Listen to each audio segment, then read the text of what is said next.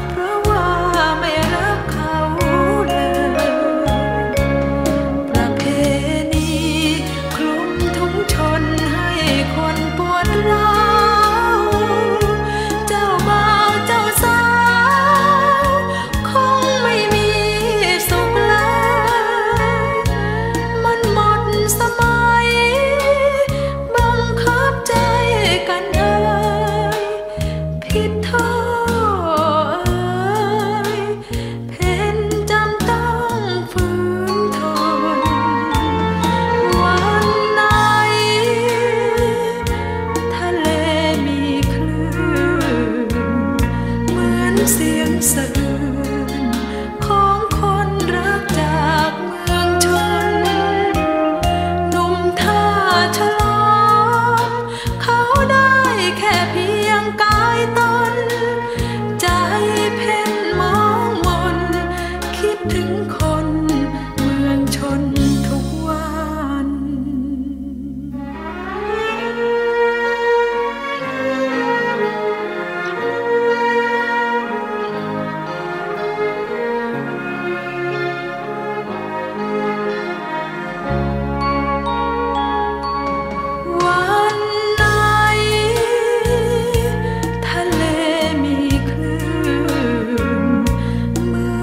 tiếng giận khom khói